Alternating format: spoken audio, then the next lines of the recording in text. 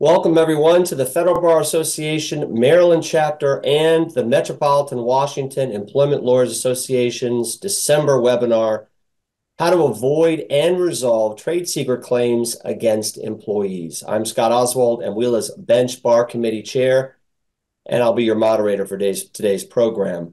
Before we begin, Ezra Gollogly from the Federal Bar Association Maryland chapter has some introductory remarks for us. Ezra?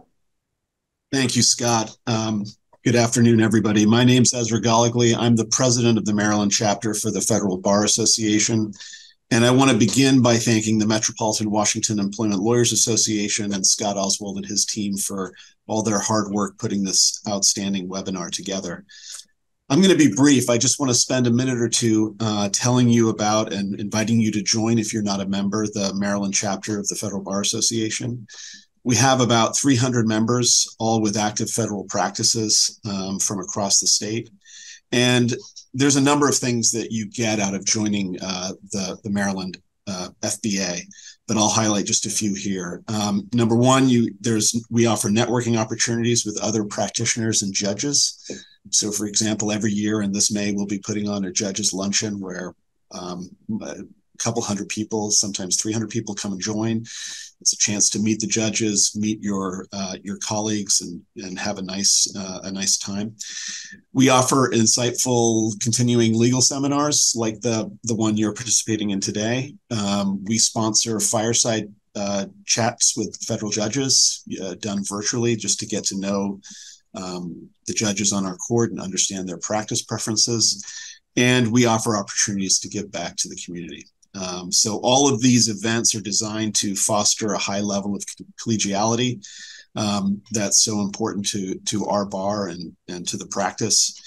And uh, I'd encourage you to take a look at the chapter's website for more information when you get a chance. That's www.fbamd.org, fbamd.org. Um, and with that, I'll sign off and uh, turn it back to you, Scott. I hope to see everybody at a chapter event sometime soon. Ezra, thank you. Now to our participants in today's roundtable. The Honorable Stephanie Gallagher is a United States District Judge on the United States District Court for the District of Maryland. Before uh, receiving her commission, Judge Gallagher served as a United States Magistrate Judge on the United States District Court for the District of Maryland. David Greenspan is a partner at the law firm of McGuireWoods. David's practice focuses on the litigation of employee mobility disputes. Max Miller is an attorney advisor for competition to the United States Federal Trade Commissioner uh, Alvaro Bedoya. Before his work at the FTC, Max was an assistant attorney general in the state of Iowa, where he was responsible for enforcing the state's antitrust and consumer protection laws. Max's opinions expressed today are his own and do not necessarily reflect those of the Federal Trade Commission. Kristen Sinisi is the founding partner at the law firm of District Employment Law. Kristen's practice includes defending employees against trade secret claims. I'll take your questions throughout the discussion portion of today's program. Just use the Q&A button located at the bottom of your Zoom screen. Let's begin with a primer on the subjects that we'll discuss today. Kristen, on the Defense Trade Secrets Act and the FTC's proposed rule to ban some non-competition agreements. Kristen, start us off. Thanks, Scott. It's a pleasure to be here with you all today. Um, before we get started, please note that we will email a copy of the slide deck to anyone who registered for today's event. Turning now to the Defend Trade Secrets Act, former President Obama signed the act, which enjoyed wide bipartisan support into law in May of 2016. The legislation was modeled after the Uniform Trade Secrets Act, and it was created for two primary purposes. First, there was no federal private cause of action for trade secret misappropriation. So, if a trade secrets plaintiff sought to file a suit, they had to do so in state court unless there was diversity jurisdiction or a separate federal claim. Um, the passage of the DTSA provided a mechanism for plaintiffs to sue in federal court directly. Second, state trade secret laws vary widely with respect to both the text of the laws and their applications. For example, state laws define trade secrets differently, um, they provide different remedies, and they provide different statutes of limitations. The Defend Trade Secrets Act created a uniform law that applied in federal courts across the country. It also sought to provide clearer rules and predictability. While today's focus will be on the Act's civil provisions, note that the Act does provide for organizational liability and criminal penalties, including fines and imprisonment. Uh, Section 1836 governs civil actions brought under the Defend Trade Secrets Act for misappropriation of a trade secret. To establish a cause of action, a plaintiff must satisfy four elements. First, the plaintiff must own a trade secret. Section 1839, subpart B, defines trade secrets broadly as all forms and types of financial, business, scientific, technical, economic, or engineering information, regardless of the form or how they're stored. Even if information meets this definition, in order for it to qualify as a trade secret under the Act, it still must meet two additional conditions. First, the owner must have taken reasonable measures to keep the information secret. And second, the information must derive independent economic value from not being generally known or readily ascertainable through proper means. It's a mouthful. Um, in other words, the fact that the information is secret and can't be easily discerned in a legal way must give the information economic value. Uh, with respect to the second element, the trade secret must relate to products or services actually used or intended for use in interstate or foreign commerce. Typically, this requirement should be pretty easily satisfied, but courts have dismissed claims brought under the Act where the plaintiff fails to plead a nexus between the trade secret and interstate commerce. Some courts have even gone so far as to question on their own motion a trade secret's relationship to interstate commerce. So you'll want to carefully consider the nexus when you're drafting a complaint or evaluating whether to file a motion to dismiss. Third, a plaintiff must establish misappropriation of the trade secret. Misappropriation can occur in a number of ways. It occurs when a trade secret is acquired by improper means, be it theft, bribery, misrepresentation, breach of a duty of confidentiality, inducing someone else to breach a duty of confidentiality, or corporate espionage. Misappropriation also means use or disclosure without consent when the defendant knew or had reason to know that the trade secret came from someone who acquired it by improper means, was acquired under circumstances giving rise to a duty to maintain its secrecy or limit its use, um, came from a person who had a duty to maintain its secrecy or limit its use, or the defendant knew it was a trade secret, even if the defendant acquired it by accident or mistake. Some courts also require plaintiffs to plead that they have suffered damages based on the misappropriation, while others don't require damages to be to be pled specifically in the complaint. Again, you'll want to make sure you do your homework on this piece when drafting a claim under the DTSA or contemplating filing a motion to dismiss. Under Section 1836B, a trade secrets plaintiff has a wide variety of relief available. Plaintiffs can obtain injunctive relief to prevent misappropriation, to require certain actions to protect a trade secret, and to condition future use of the trade secret on payment of a reasonable royalty. Economic damages can be in the form of actual financial losses and unjust enrichment, though unjust enrichment damages are not duplicative of actual losses. Um, as an alternative to actual losses or unjust enrichment, a plaintiff may receive a reasonable royalty for the defendant's use or disclosure of the trade secret. In extraordinary cases, under Federal Rule of Civil Pro- Procedure 65, uh, the court may order the seizure of the trade secret to prevent further use or disclosure of it.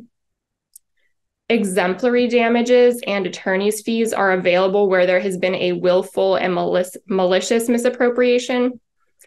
Attorney's fees are also available when the claim of misappropriation was brought in bad faith. Importantly, attorney's fees are not routinely awarded to the prevailing party.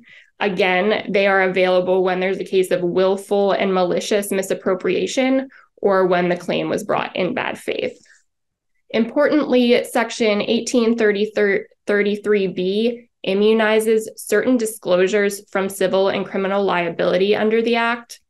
Disclosures are immune when they're made confidentially to a government official or an attorney, and they're made solely for the purpose of reporting or investigating a suspected violation of the law. Disclosures made in complaints, in lawsuit filings, or in other proceedings are also immune, so long as those filings are made under seal. Similarly, a whistleblower who files a retaliation lawsuit against their employer may disclose the employer's trade secrets to their attorney and use them in the lawsuit, so long as the documents containing the trade secret are filed under seal and the employee doesn't otherwise disclose the trade secrets, except as ordered by the court, of course. A few additional considerations to keep in mind when bringing or defending against a claim under the Act. The Act does not preempt trade secret claims brought under state law. So both federal and state trade secret claims may be brought at the same time. However, state trade secret laws may preempt state common law claims, such as breach of fiduciary duty, conversion, unjust enrichment. So, in deciding which claims to bring or which claims to seek dismissal of, be clear on the state law preemption issue. Next, employers must inform employees of the Act's immunity provision in any employment agreement regarding the use of trade secrets or confidential information. If an employer fails to provide such notice to an employee, the employer can't recover exemplary damages or attorney's fees in a claim brought against the employee under the Act. Employees and employers also need to consider the implications of regularly sending, receiving, and storing trade secrets information on their personal devices, particularly during this current era of remote work. Um, we'll explore this piece in more detail later, though. Historically, employers have used non compete clauses as one mechanism to help protect their trade secrets and other proprietary information. Uh, however, non compete clauses have come under increased scrutiny lately, including by federal regulators, because of non compete clauses' chilling effect on employee speech, the reduction of competition in the workplace, and their impact on employee mobility.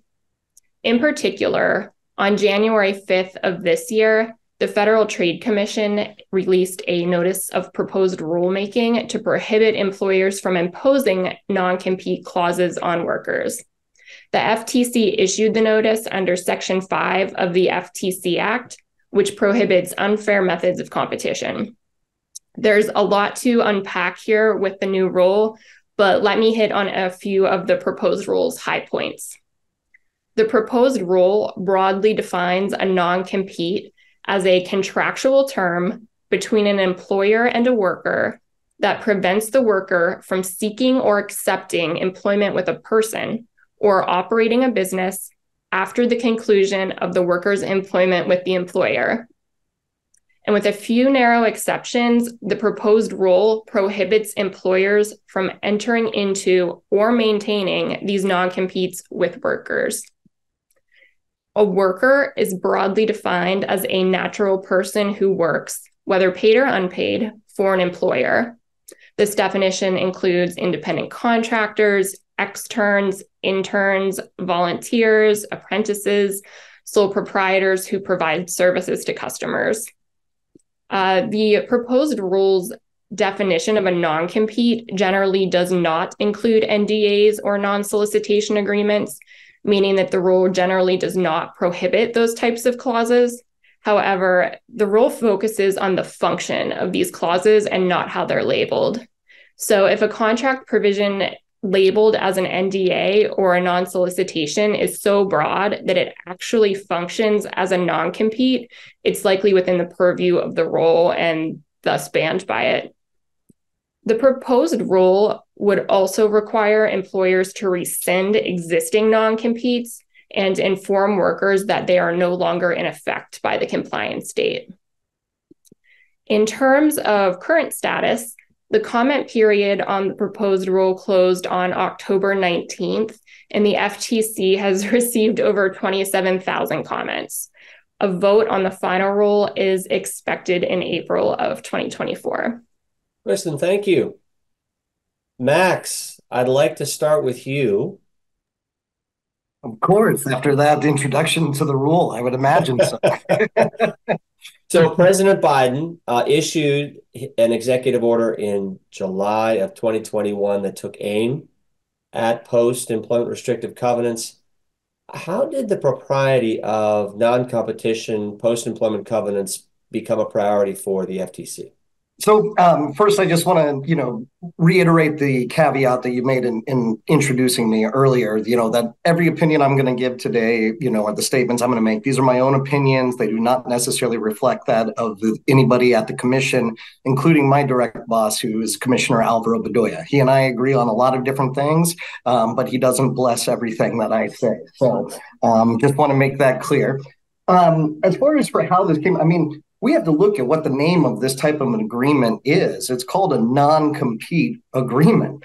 It is it is anti-competitive. It is on its face. You know what the, what companies have engaged in is essentially trying to make it harder uh, for employees to be able to leave their employment and once they leave their employment to be able to go to a competitor and perhaps you know provide them with um, um, you know the skill set that they have gained um, which would help them to compete in the market. So when you tell about like how did this come to the attention of regulators i mean i think that it's something that should have been an antitrust concern from the very beginning that companies started coming up with this as a way to you know restrict uh, the employment opportunities for their employees. Um, but you know we had about 40 years of history here where antitrust laws and antitrust enforcement fell out of favor um, you know, where there was a changing of the principles underlying antitrust law, uh, making, I think, the courts, uh, you know, have weakened the antitrust laws over that time. Um, so it's, you know, during that time was when these contracts started to become more prevalent. Uh, and I think regulators were much more hesitant uh, in order to go after, you know, certain types of conduct. But um, I would say for me personally, um, not just non-competes, but restrictive covenants, you know, for employment, such as non-poach agreements. Um, you know, a lot of this has been going on since I first switched over to antitrust in 2017. Um, so for many years. But even if you go back before that, you know, DOJ had brought cases against um, had brought cases against some of the tech companies that they had entered into no poach agreements. Um, you know, where they wouldn't be seeking, you know, to hire the employees of of other of other firms. Um, so yeah, I'd, I'd, say you know this is just on its face. You know the fact that it's called a non-compete agreement makes it something that's going to be of concern to antitrust regulators. Um, but this has been coming on for a while, particularly, and I do want to mention, you know, as these agreements became more prevalent in society, it kind of coincided with a time when um, salaries for employees, you know, when actual earnings for employees uh, were remaining stagnant too. Um, so I think a lot of the evidence that as we see of like the employment restrictions and how they they limited the amount of, of money that employees could make. Um, you know, over that period of time, uh, regulators started to take interest in this issue and, and think about what we could do uh, in order to to address this problem in our employment in our labor markets. So let's talk about the uh, public policy priorities underpinning this proposed rule, Max. Uh, you've got some a different set of priorities for kind of low wage workers versus other uh, potential groups of workers. When someone asks you about the underlying priorities of the rule, how do you respond? So, as, I mean, priorities. I'm not sure that that's the way that I would describe it. You know, all of the the rule is is um, you know promulgated under Section Five of the FTC Act, which you know prohibits unfair methods of competition. And recently, the FTC, last year, the FTC issued its uh, statement on Section 5 enforcement on unfair methods of competition. And so there are two kind of primary ways that, that something can fall under the unfair methods of competition.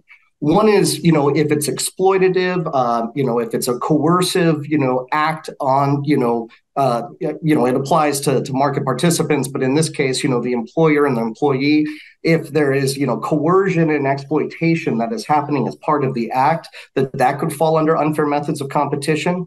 Um, but then there also can be the effects on the market on the effects on competition. So when you look at the way that the rule was was you know proposed you have justifications for the lower wage employees in which case that the finding is is that it has been exploitative and coercive uh, to make employees uh, agree to these non-compete agreements but when we're talking about high wage earners, right, the the rationale for imposing the rule, even on the high wage like senior executives, is because of its effect on competition. Um, you know, when you think about like so so take a look at a state like California right? California has had one of the most innovative markets, you know, for technology and thing, and they've banned non-competes. I, I, think since the 1970s. I mean, it's been decades that California had, you know, no non-compete rules in place. Um, and so we we have found that you know when you're talking about senior executives and the role that they play in the market, you know their ability to move between employment, um, that's very important for having a competitive marketplace. Uh, that you get you know the, the, the same types of skills that those senior executives have, uh, going with competitors and making innovation happen in the market. Let's talk about the FTC's uh, the functionality test of the rule meaning the clause uh, in a post-employment restrictive covenant, let's say, is functionally equivalent to a non-competition provisions. Are there situations where the FTC's proposed rule might impact a non-solicitation post-employment restrictive covenant? Well, I think the important thing to remember is it's like the label isn't what matters, right? Like if you're essentially trying to get a non-compete agreement in place, but you're going to call it a non-solicitation agreement, or you're going to call it a you know non-disclosure agreement. Um, but the function of the contract is to prevent them from being able to seek employment elsewhere that is what's going to be controlling and whether or not the rule applies. So that's what you know is meant by the functionality test is you look at the function of the contract as opposed to the label of it. As far as whether or not there are particular non-solicitation agreements that could come under the rule, I think that's going to be a very fact-specific inquiry. It's going to depend upon the language of the contract and the impact that it has on the ability of the employee to seek employment elsewhere. Uh, Max, uh, are there situations where the FTC's rule might impact a confidentiality or non-disclosure post-employment restrictive covenant? Well, I, I, certainly don't think that that's the intention of the rule. And in fact, if you look at some of the justifications for the rule, is that particularly when you're talking about like senior executives, right? You know, or, or the, these high wage earners in it, there's ways to, you know, what we heard even before issuing the rule, and of course in the comment period, is that you know the reason you have to have these is because of the the risk, right? The risk of you know uh, confidential information being disclosed, you know, outside of the company right? Well, you know, I think the, the proper response to that is, well, you do have other tools uh, to be able to minimize that risk. And so I think, you know, as Kristen did an excellent job kind of explaining the federal, you know, Trade Secret Act here and, you know, the ability to go after employees who actually do misappropriate information, you know, that's the remedy, that's the tool. Um, so once again, it gets back to the functionality test. If you're using a non disclosure agreement in order to functionally keep an employee from going to competitors, that's where the rule would potentially apply. Max, are the situations where the FTC's proposed rule might apply to what an employer describes as an independent contractor? well, that is an issue that is, there's a lot of discussion that is going on. I think I'm going to decline to answer that one just simply because of the number of potential issues with me talking about. Let's talk about some of the exemptions uh, to the FTC's proposed rule. I think you heard we talked about trade secrets. Uh, employers can still protect their trade secrets even under the FT, FTC's proposed rule. Is that right?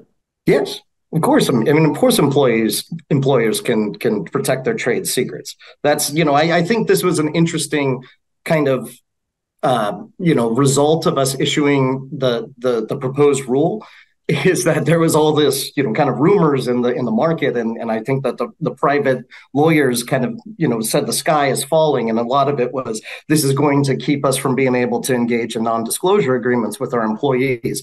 But I, I you know, I think on the face of the the NPRM, you know, there was no intention to try to, you know, prevent employers and employees agreeing to non-disclosure agreements and having employers protect their trade secrets.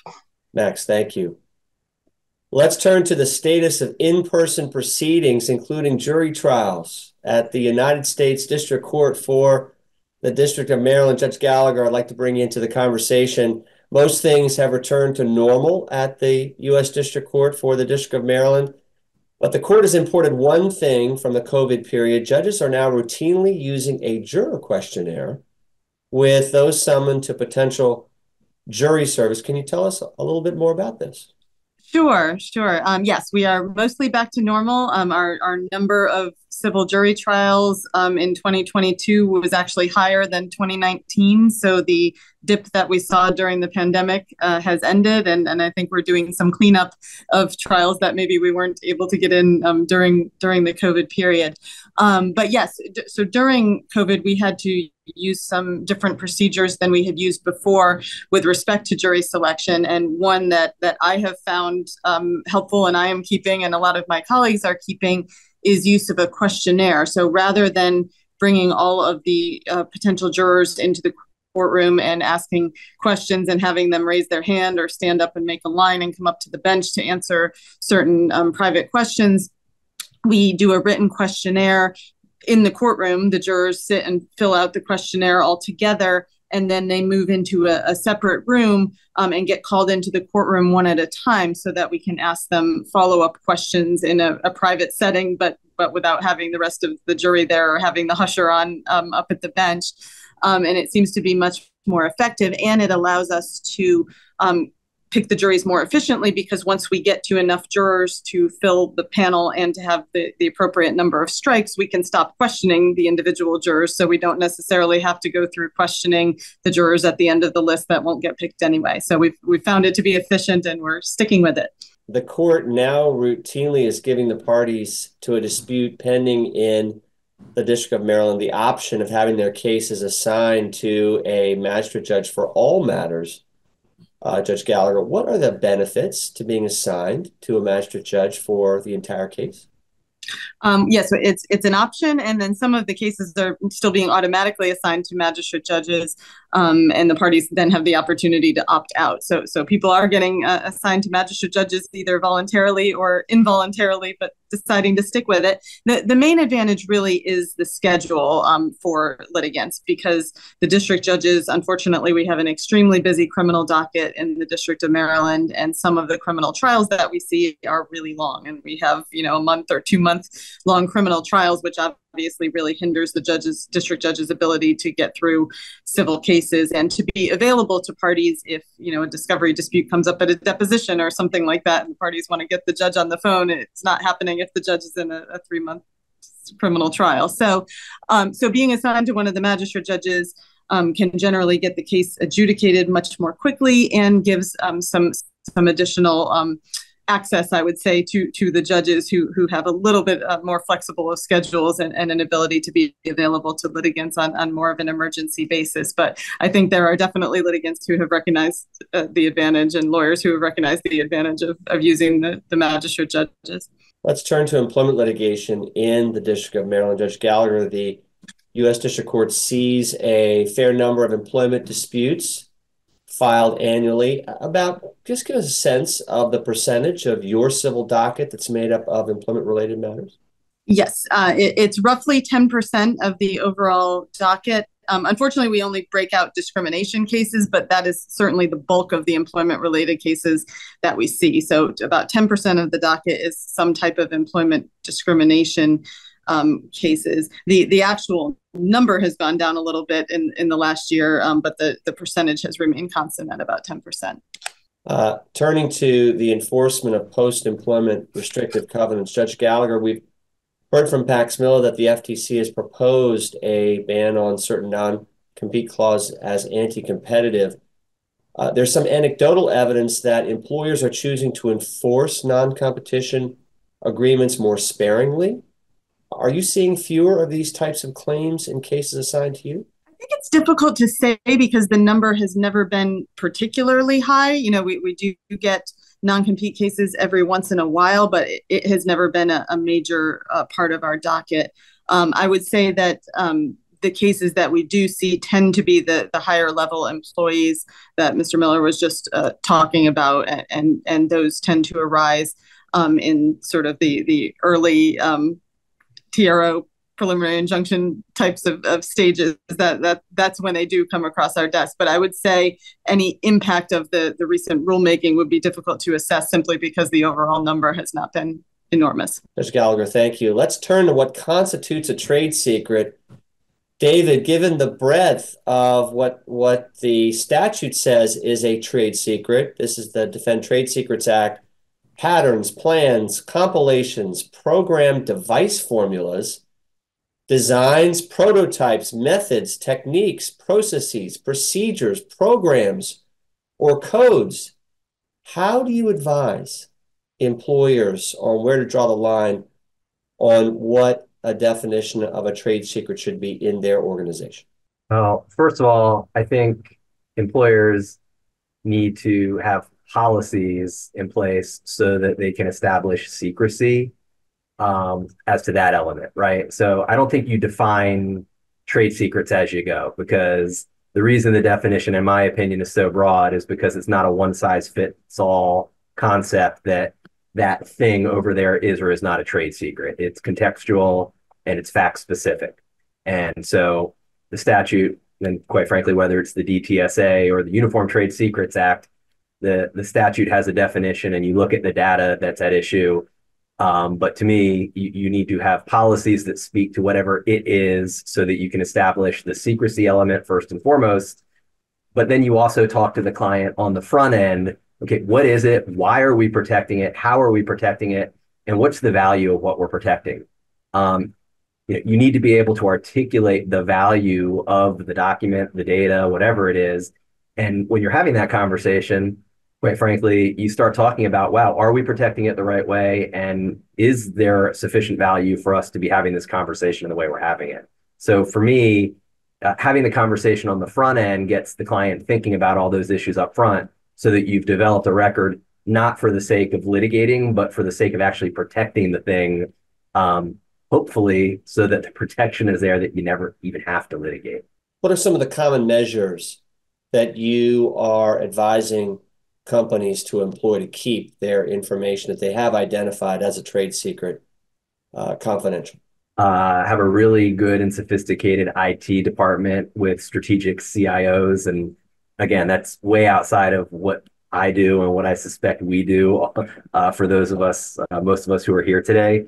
Um, but I think thinking strategically about uh, intellectual capital, and what I mean by that is, you know, when when entities are trying to protect their stuff, um, really understanding what you mean when, you know, when I say stuff, I'm I'm using that term generically because what is it that we're trying to protect as an organization? It's usually not the Coke and Pepsi formula. It's usually more esoteric. I can't tell you how many cases, you know, clients come to me and say, an employee left and they're soliciting customers and clients and they took the customer list when in reality what we're talking about is the you know outlook and calendar from their phone when they didn't have a byod policy and it slides off into some derivation of that fact pattern um, but having conversations on the front end about well, what is our BYO uh, bring your own device policy? Um, how are we asking clients um, or, or, asking our employees to track their clients and things like that? Again, for me, uh, Scott, you know, having a sophisticated information technology group on the one side and an HR group and having them work with and talk with each other, that's how I'm advising clients to work together. Get the lawyers out of it, other than in that initial conversation, maybe that's good advice, not just for this, but for a lot of things in the employment context. David, thank you. Judge Gallagher, what kind of company prophylactic measures are you looking for when a company asserts that information is, in fact, a trade secret? Um, I, think the the um, presentation that Kristen gave earlier uh, kind of uh, summed it up. But but basically, the the things that seem to come up are first the steps that, that the company has taken to keep information confidential and secret. Um, that that's always a key factor. And then the second is the economic value, the independent economic value of the information. And the, those two things um, together tend to uh, create a, a, fairly broad or bright line that can be drawn between information that may just sort of be confidential versus information that truly constitutes a trade secret. Kristen, uh, has the Defend Trade Secrets Act changed the calculus for employees who retain information that they've obtained during their employment? That's an interesting question. Um, on the one hand, it makes the stakes much higher for employees who retain information. The Act, as we discussed earlier, imposes not only civil liability, but potential criminal liability, which can be really scary for employees who are trying to do the right thing and report violations of the law. On the other hand, as we mentioned, the Act immunizes certain disclosures made for the purposes of reporting or investigating legal violations. At least in theory, the immunity provision should make it more likely that whistleblowers will retain and disclose employer information. Um, practically speaking, I've seen this play out a little bit differently in my practice, I have seen employers weaponize trade secrets claims against employees more frequently lately. And although there is an immunity provision, um, complaints filed generally are not dismissed on immunity grounds at the pleading stage, meaning that employees still need to go through the discovery process, which can be quite expensive for individuals. Um, and as we discussed earlier, the DTSA doesn't provide attorney's fees to the prevailing party. So generally, employees are not recovering the fees that they've expended on these claims all of that said, um, because of these additional considerations, in my practice, the DTSA hasn't emboldened employees to retain documents to the extent one might expect. At least in my practice, I tend to be more conservative about advising clients with respect to the documents they should retain. Um, the Act definitely has added more factors to the calculus and given us more considerations to weigh on both sides of the equation. Well, uh, that's a nice segue to uh, kind of common potential trade secret contentions. David, uh, can an employee retain email communications that uh, the employee says constitute alleged evidence of workplace discrimination without fear that the employer might assert a valid trade secret misappropriation claim? Sure, if they're giving it to the government or their lawyer lawyer solely for the purpose of reporting or I mean, the short answer is I think it's a dangerous proposition to retain something unless the true and sole purpose of your retention is for that purpose and you've got good counsel helping you through that process from day one. Because what often happens is when employers do forensics and you know once forensics are started most people are not sophisticated enough to really know what they're doing.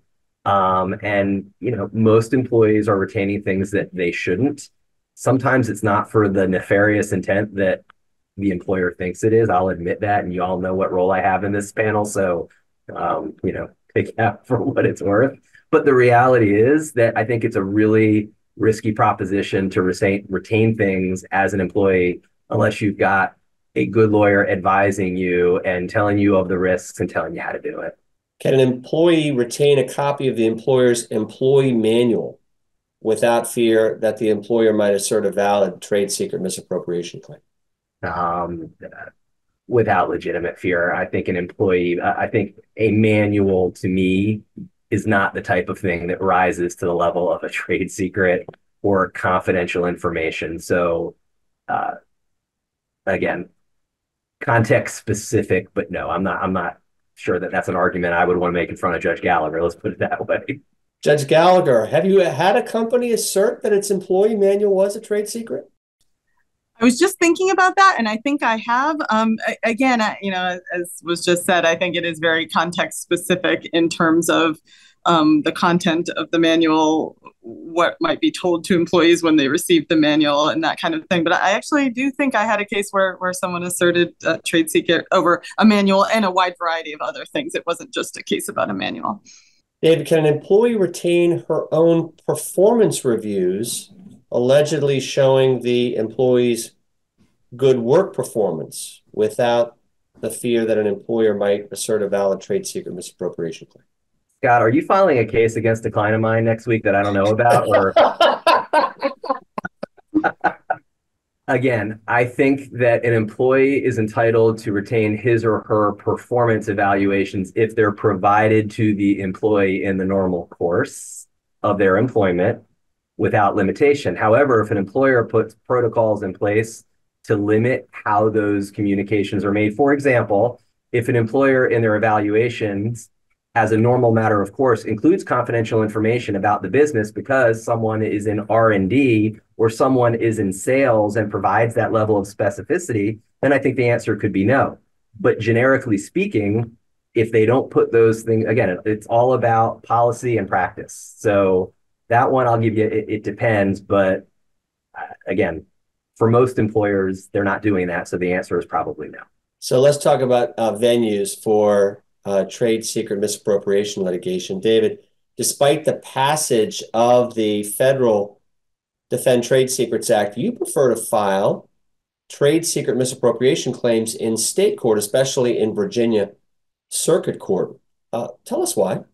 Well, Virginia, in particular, um, has a very unique summary judgment rule, which is to say it doesn't really exist in Virginia um, because you can't actually use deposition testimony uh, in furtherance of summary judgment. So, um, whenever I have a client who wants to prosecute a trade secret sit in the courts here in Northern Virginia, um, I tend to advise clients that if you can plead successfully, and and actually taking a further step back, um, the Supreme Court has recent has held in 2013 that you can attack a restrictive covenant on demur. That's the Malyevac case.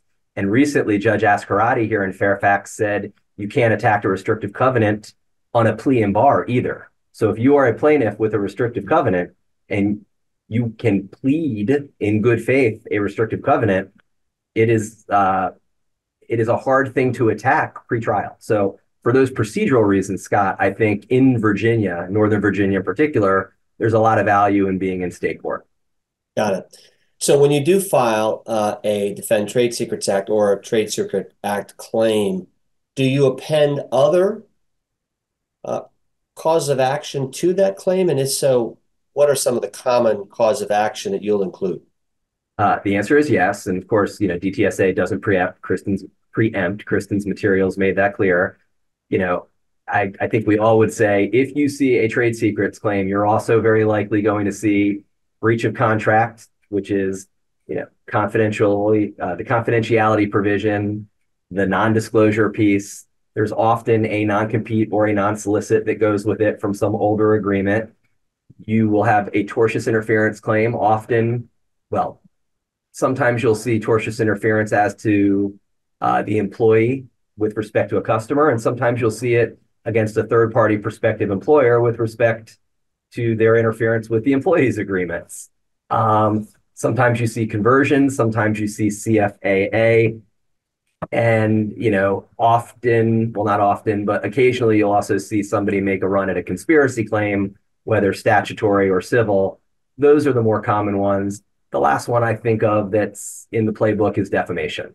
Uh, if you really want to ratchet up the pressure, uh, when people leave, people get angry, and when they get angry, they say things. And if it gets close to that line, that's a powerful claim. How so? Uh, well, defamation claims because of the unique pleading standards and the damages, uh, especially if it's per se defamation. Uh, a couple years, um, you know, everybody was following it because who was involved, but I was following it because of all the really interesting Virginia defamation issues. Um, it's just to me, you're litigating about the character and personality of the individuals, and it's one of the very few claims where that is in fact the case, and what makes it it, it really distorts the the concepts of what's relevant and what's not. I don't know if that's just my perspective or what have you, but uh, in an employment case, it really expands what can come into the story and narrative that gets in front of the jury. Do you generally file a motion for temporary restraining order or a motion for preliminary injunction with your complaint? Uh, it depends. In my experience, a TRO is such a rare form of relief and one that many judges who I've talked to have said you've got to walk in with the entire story, lock, stock, and barrel. So I personally tend to advise clients to file a motion for preliminary or temporary injunction, seek expedited discovery, get a few weeks, and then go in and put on the narrative at that point in time. Judge Gallagher, does the fact that a party pursues a motion for preliminary injunction instead of a TRO send any different signal to you about how serious the moving party is about the necessity of the relief they're seeking? No, not at all. And, and sometimes it does show um, sort of a, a, practical recognition of the fact that some discovery might be needed um, before the party can really make a, a good case for injunctive relief.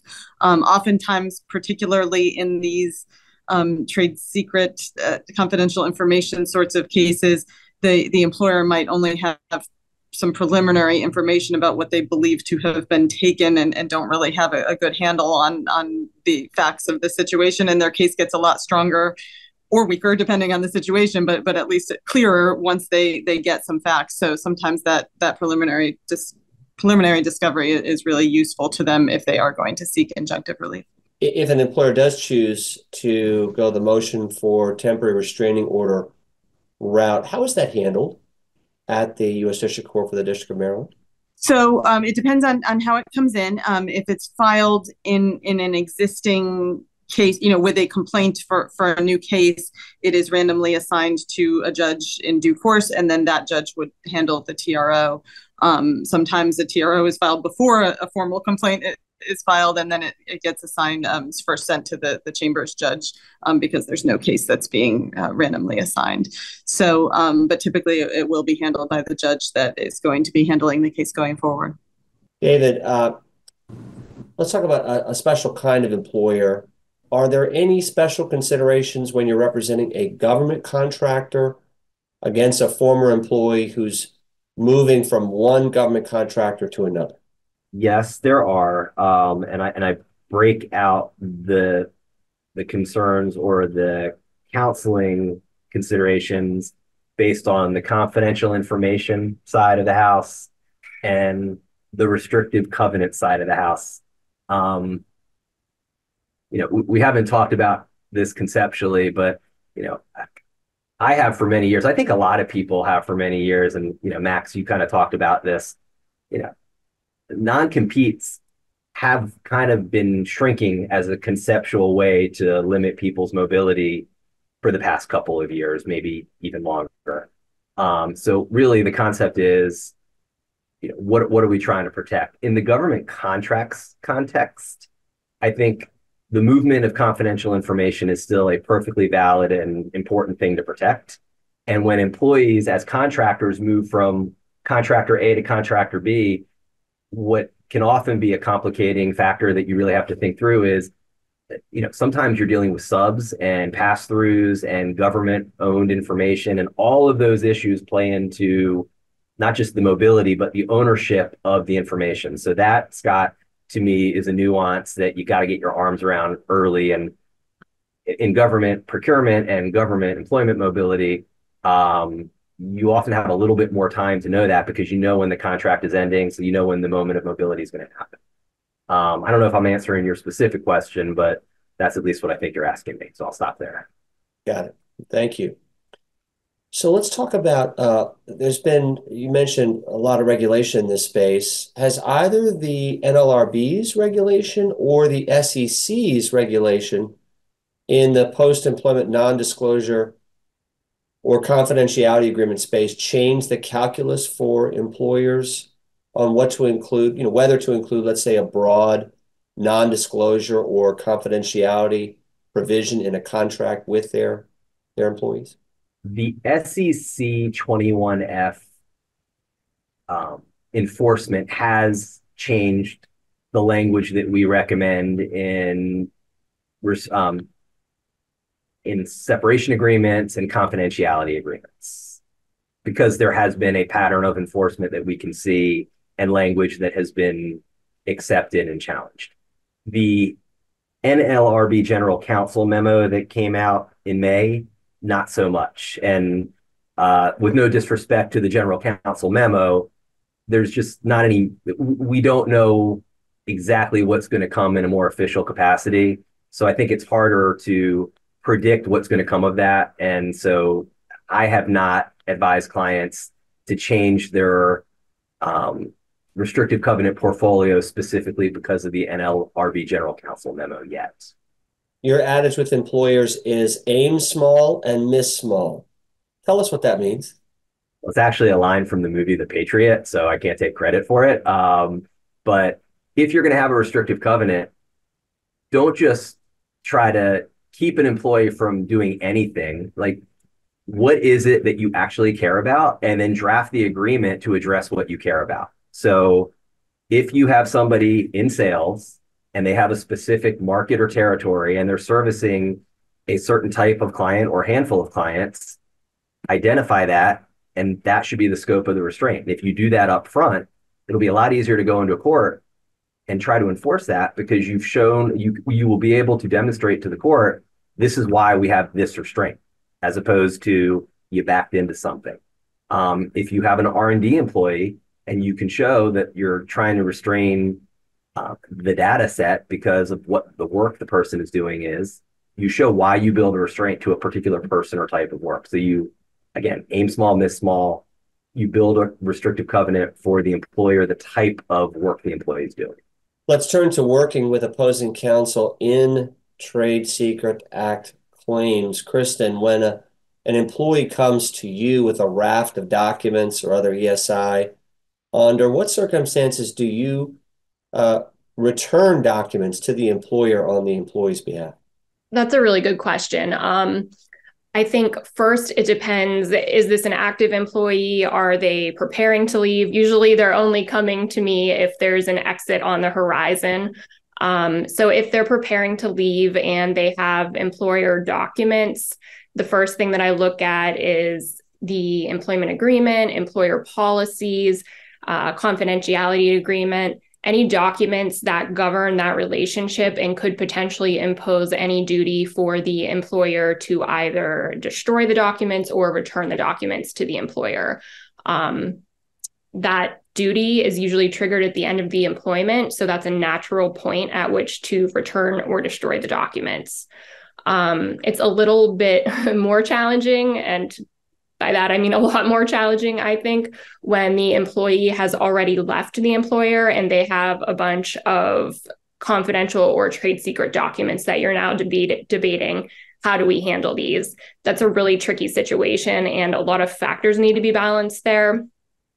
Um, you know, if the employer has not put the employee on notice of a duty to preserve, and under the documentation, the employee can destroy, delete, remove access to the documents. I think that's the way to go.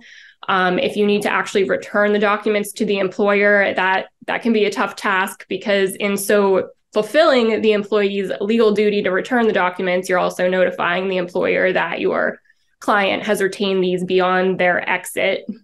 Dave, I'm going to come to you next, but Kristen, I want to take our first question from our audience. When documents, what documents can a client provide to their attorneys to demonstrate a discrimination or harassment claim without violating trade secrets laws? That's a good question. Um, you know, I think this plays out differently in theory than under the law. As David had mentioned earlier, there's a lot of risk involved in this process. So, under the Defend Trade Secrets Act, for example, um, an employee could theoretically forward from their work email to their personal email and to their attorney documents that evidence the illegal conduct and help support their claim. Um, and assuming that they then use those documents only to pursue a claim uh, against their employer, a retaliation claim, or some other sort of claim, um, they would be protected and they would be immune from liability under the civil and criminal provisions of the Defend Trade Secrets Act. Uh, that's not usually how these things play out, though. It's it's not usually so neat and clean.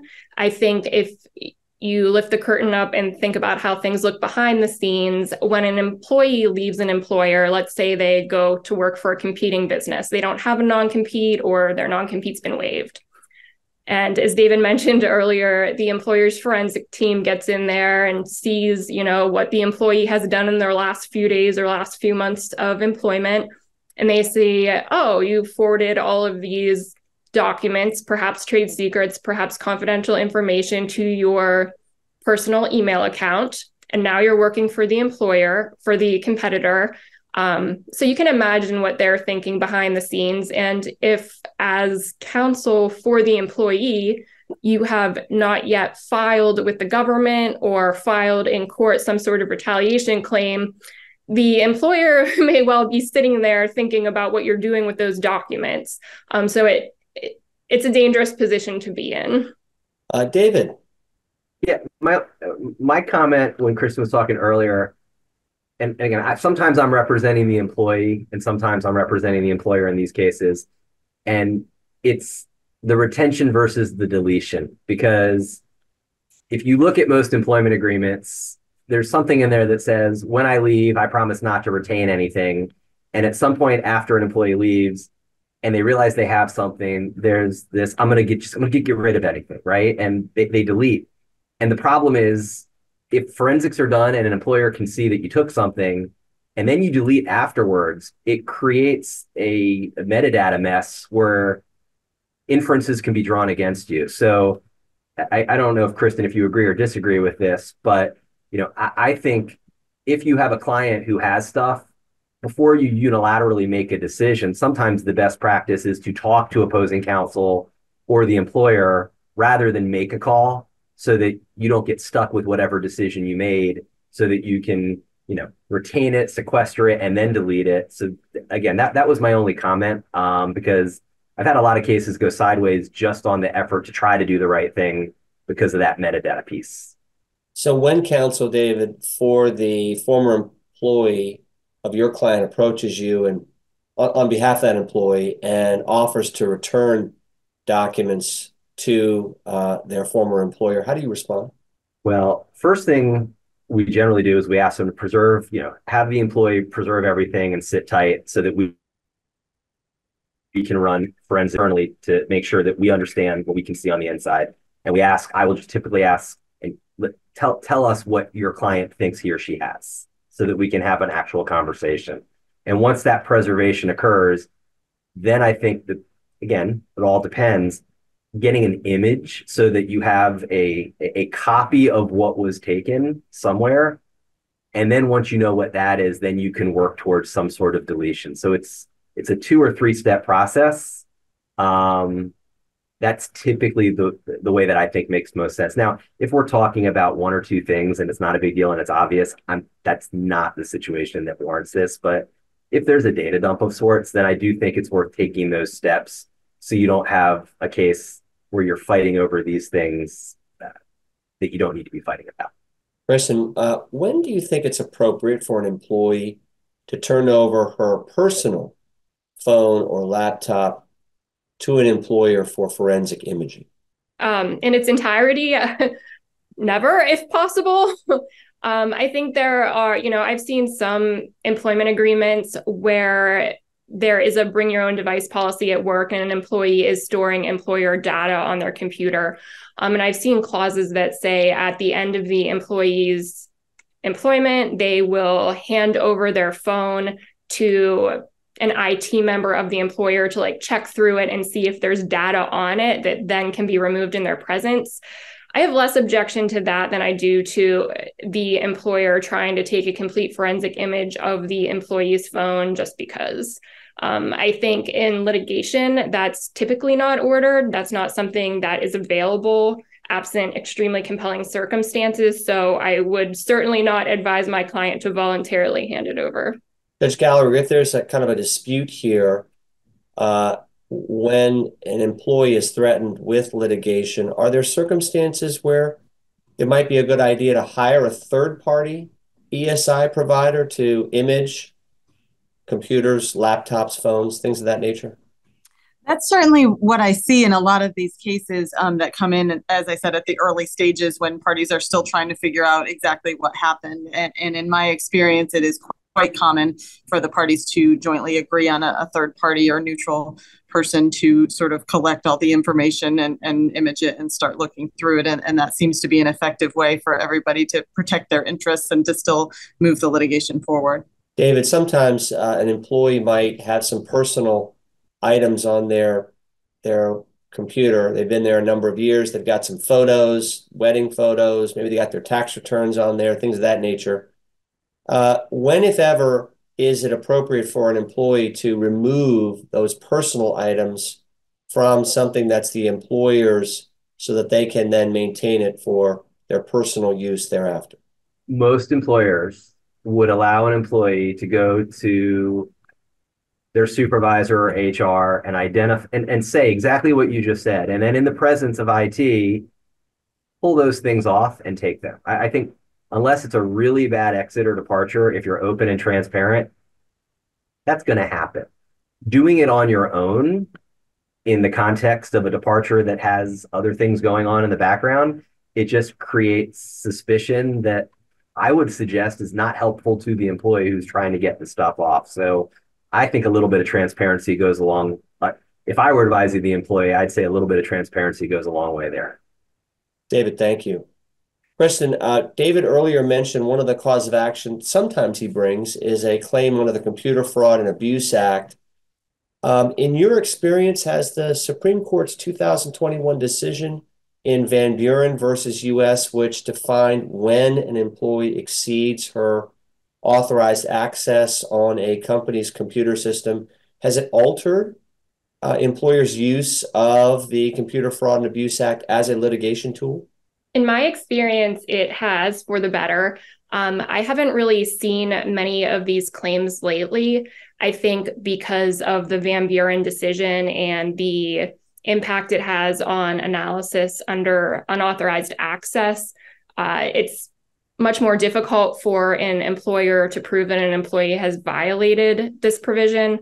Um, as you know, Van Buren relied on a gates up, gates down inquiry and basically said that if you're not hacking into the system or you're not logging in after your access has been revoked, your employment ended, um, then you're not accessing information without access and not violating the statute. So we haven't really, I don't know that I've seen any of these since the Van Buren decision. Let's take another question. Uh, what additional complications are anticipated with the increased use of cloud storage of documents? David?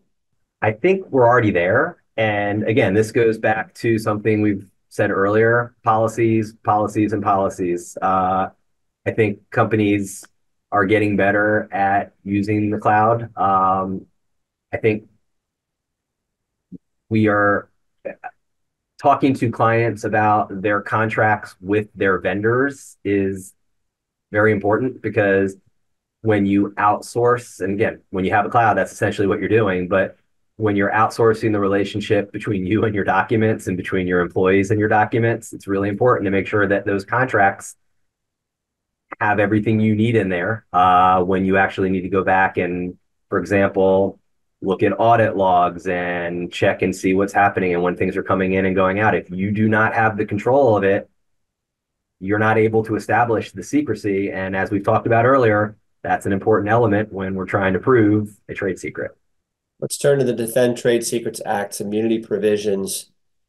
Uh, David, are you seeing more employers providing notice of the DTSA immunity to their employees on the front end at hiring in order to preserve their right to seek exemplary damages and attorney's fees on the back end? Uh, anecdotally, no. Uh, I think more employers are choosing not to provide that notice on the front end at the expense of the exemplary damages and fee potential so that I, I, I think the calculus is rather than say, hey, you can do this, we'd rather forego the exemplaries and fees on the back end. So again, I'd say it's 60 40, 40 60, but I think it's more uh, more folks choosing not to provide that notice. Kristen, to the extent that your client has a whistleblower claim, either a substantive claim or a retaliation claim, how does your document retention protocol change for your client uh, when that's the case and they might be making a disclosure to law enforcement or a claim for whistleblower retaliation? Yes, uh, good question. I think if they're making a claim, a substantive or retaliation claim, then their ability under the Defense Trade Secrets Act to retain documentation to support their claim really increases. That's the only circumstance under which they have immunity under the Defend Trade Secrets Act. So if they're not pursuing claims, um, I would not really encourage them to retain much documentation with respect to when they are pursuing claims and retaining documentation, I still think they need to be very careful and conservative in their analysis. Um, one thing that I like to do, you know, there are a lot of clear examples of what is a trade secret and a lot of clear examples of what's not a trade secret. But I think most of the documents that we have to deal with lie somewhere in the gray area. It's not clear cut black and white. Um, and where there are documents that it's unclear and you want to act out of an abundance of caution to avoid a lawsuit or liability against your client, a practice I like to use is preparing an index to set just return everything or return everything you're unclear about to the employer, create an index, a copy of which you'll retain, just the cover page. In the index, identify each document you're returning, the date of it, the sender, the receiver, like a very high level summary of what it's about um, not including the trade secret information in the index, and also a description of where the document is stored or can be found on the server. Um, this can be useful for several reasons. First, if you end up litigating the case, you can then request back all of the documents that you previously supplied to the other side. And secondarily, if you are filing a claim with the government, like a SOX claim, or you're filing with the SEC, this is a roadmap to give to the government to say, hey, these are the documents that matter, and this is where you can find them.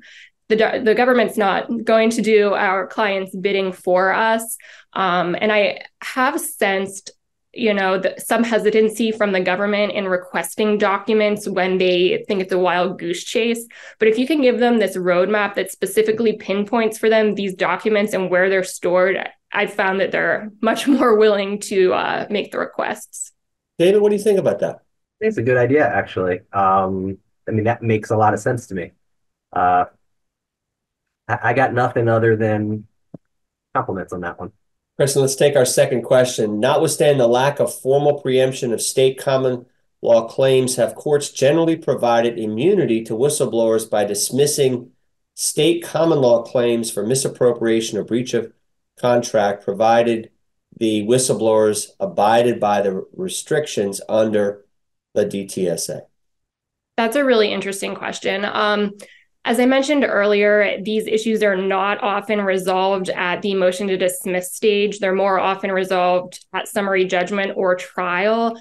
Um, a survey that I did of the case law fairly recently showed most of these issues going to trial, though I suspect some of them were also resolved in out of court settlements. It's just, you know, to give an example, when an employee forwards to personal email documents that contain trade secrets but are also pertinent to a retaliation claim.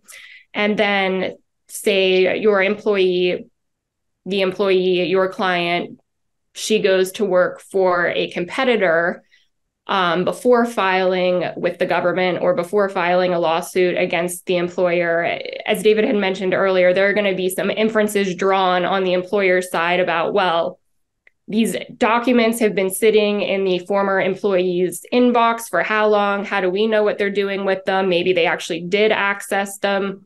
Even after you file a complaint with the government, if they remain in the inbox and you're working for a competitor, it's really hard to, it's almost like the employee needs to prove a negative you have to prove that you didn't use them because you have access to them um, which really you know highlights the benefit of getting forensics involved but for all of those reasons, I, there are a lot of competing factual issues. And I think that most often they have to be ironed out at trial, unfortunately.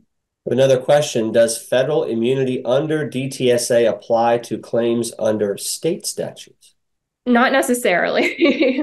uh, Defend Trade Secrets immunity applies to claims brought under the DTSA against that particular employee. Let's talk about the mobility of employees, where we hear in the news that employees are moving from employer to employer with increasing frequency. How has this phenomenon changed your advice to clients, companies worried about trade secret secretion? I don't think the sky is falling in the way you might think it is when you read Law 360. I see Max smiling off screen here. I'm glad. Um, when, when I first started practicing, I feel like I was told don't don't do employment mobility and non-competes because they're not going to exist in 20 years. And 20 years later, they still do exist. Different, but they do exist. I think what has changed is I am more successful in getting clients to be proactive about policies and what their agreements look like. And like I said earlier, let's talk about why you need this restriction for this class of employees or that specific executive.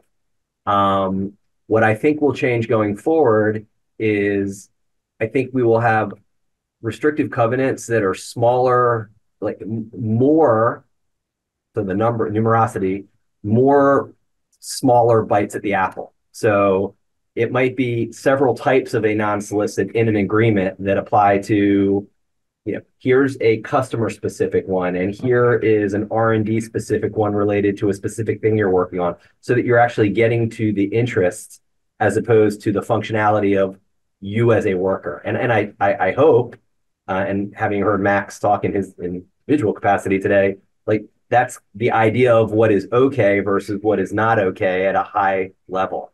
Um, but for me, at the end of the day, when you talk to clients, it's the confidential information and trade secrets that you still have the strongest ability to protect. So do that well.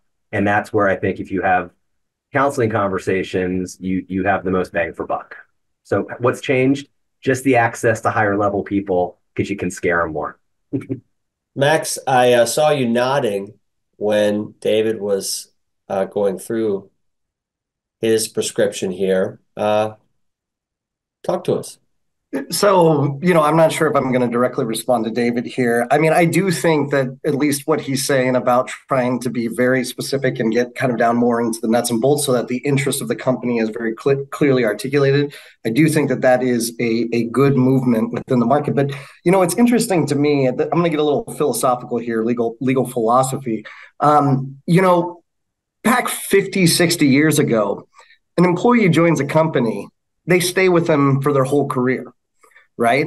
And it's like the best way to protect trade secrets, the best way to protect confidential information is to treat your employees right, right? Like to pay them what they're worth um, and to give them the incentive to stay with the company for their whole entire career, as opposed to you know treating them as expendable. If you treat an employee as expendable, you know they're going to want to leave and they're going to take the knowledge that they gained like in that employment with them. So I, I, mean i do think just kind of from a philosophical basis for companies being so concerned about their trade secrets they should be concerned about keeping their employees forever you know for their whole entire careers. And the better that you know that's and that to me is what's the, benefits of a competitive market right? Like when you know companies are competing for labor it creates more that environment where companies are going to treat their their employees better and then i think by extension protect their trade secrets better um, by you know preventing like by by people's choice staying with the company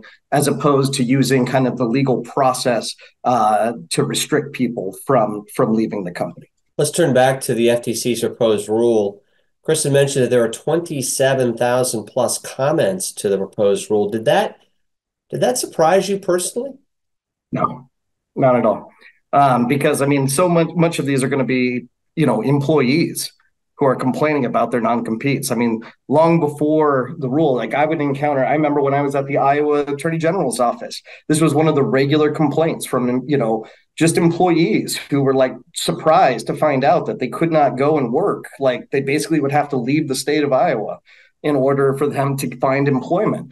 Um, so, you know, the, and that's what, you know, I, I mean, I, I obviously understand why companies, you know, are upset about this rule because it means that they're going to have to be, you know, much more targeted in the way that they protect their trade secrets and all that than just doing this blanket non-compete agreement uh, in order to prevent their employees moving.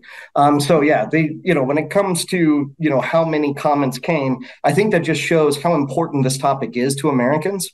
Um, you know how labor mobility is something that is important to the people and, you know, they've been letting their government know for a long time that this is something that should not be in place, that companies have this ability to use their power uh, in order to restrict an employee's movement in the market. Uh, Max, we got a question. Uh, if you can answer it, will the proposed FTC rule apply to franchises? So, the proposed rule, right? And I, and, you know, I got to be careful here right? because we're we're in the process right now of reviewing comments right? And i cannot you know give you any information you know we're in the deliberative process right now looking at the comments you know and deciding you know what a final rule will look like. But if you if you recall when the the, the nprm was issued last january um, that did not cover franchisees. Got it. Thank you. We are almost ready to turn to final thoughts. Before i do though uh, i'd like to turn to judge gallagher judge gallagher uh, you served as a law clerk, then as a magistrate judge, and now as a district court judge in the U.S. District Court for the District of Maryland, Baltimore Division. What's changed, if anything, since you first clerked for a federal judge in the same courthouse? Um, a lot has changed and a lot has stayed the same. Um, we obviously have a lot of new people, including a lot of uh, brand new judges who have joined our court, both as magistrate judges and as uh, di- new district judges in the last year, year and a half. Um, but I think the, the place itself ha- has really stayed the same. This court has always been a, a special place in terms of its um, collegiality and its commitment to really trying to be a public serving institution. You know, obviously, a lot of people don't necessarily want to be in courthouses when they find themselves in courthouses, but the court tries as hard as it can to make it a, a user friendly environment and to, to do its job uh, very professionally and with an eye toward public service. So, all of that has stayed the same. We are ready for final thoughts. Kristen, start us off. Final thoughts. Um, my final thoughts are that an ounce of prevention is worth a pound of cure. I think that holds equally true for both employers and employees in this context. But as for lawyers for employees, we need to be really, really thoughtful about the documents that our clients retain when their employment ends, uh, their methods for retaining those documents, and how they use that information moving forward. Thank you. David. Also coming off of mute will agree with Kristen. So I'm going to actually forego half of my final thought because I agree. Uh, being proactive is key here. I would also suggest that it is really important to ask your client why. Why are we doing this? Why are we enforcing this? Why do we think we need to do it this way, uh, especially with these types of cases? Because non competes, restrictive covenants, one of the things I find all the time is there people forget that they're emotional. Other than your family, your employment tends to be the second most personal thing that you have as an individual.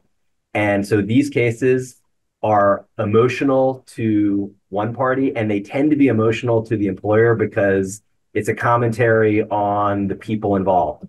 So I think it's really important to squeeze the emotion out of these cases when you get close to or in litigation. And the way to do that is really be objective and ask those important why questions throughout the process. David, thank you. Max, final thoughts. I really liked uh, David's last thought there, and and I'm going to build on it just a just a little bit there as a final thought. um, you know, take the emotion out of it. I, you know, I think is is certainly a good thing from like a legal perspective and, and trying to pursue legal claims. But when you're talking about employment, I do think it is important to remember how personal this is to people. And I think when we're talking about protecting trade secrets, we're talking about protecting confidential information. Treat your employees right, and they'll do right by you you know that's the I, I think probably just a, a, golden rule right you know treat others as you want to be treated and i think that as we've moved towards a market where employees are treated as expendable and that companies use their power to more you know kind of hurt employees that certainly creates greater risk of you know misappropriation of confidential information um, and so yeah i guess i would just say treat your employees right and that will be much better for the company in the long run Max, thank you. Judge Gallagher. Um, I, I will echo also what, what David just said. Sorry, I have a siren going on in the background at the moment. Um, but uh, these cases do tend to be very fraught with emotion, um, somewhat surprisingly, you know, compared to some of the other types of cases we see. But these non-compete situations are, are often the most um, emotionally charged, among the most emotionally charged that we do see. Um, and as I said at the outset, a lot of times there's not a lot of facts that are known to the parties. And I do think that if the parties can take a deep breath, um, come up, if they're going to pursue it, come up with a, a, protocol to find out what actually happened instead of just imagining all kinds of horrors that, that they think happened because they're so um, emotionally distressed about the, the sort of breakup of the employee relationship. Um, but take a deep breath, figure out what actually happened, and, and look at it um, very uh, matter of factly. I, I, think a lot of these issues can be resolved um, even earlier than they, they often are in these types of cases. Once the facts are known, to all sides, um, things things often turn out not to be quite as bad as they might have seemed at the front end, and and that's why I think a lot of the work in these cases is done at the early injunctive stages. So I encourage everybody on both sides to keep that in mind. Judge Gallagher, thank you. Ezra. Thank you, Scott. Um, I just wanted to say I I really appreciate the quality of the discussion here, and uh, I just learned so much today. I especially love the the idea of the index that Kristen and David uh, talked about, but just wanted to thank you all. Thanks to Judge Stephanie Gallagher, David Greenspan, Max Miller for participating in today's program, and a special thanks to Kristen Sinisi, who organized this webinar for us. Thank you too to Ezra Gollogly and our co-sponsor for today's program, the Federal Bar Association Maryland chapter. Mark your calendars for the Metropolitan Washington Employment Lawyers Association's next webinar on January 18th, 2024 at 12 o'clock. PG Tips, Navigating the Prince George's County Office of Human Rights and Circuit Court. For all of our programming from the Metropolitan Washington Employment Lawyers Association, you can find us at www.mwela.org. Thanks for joining us today.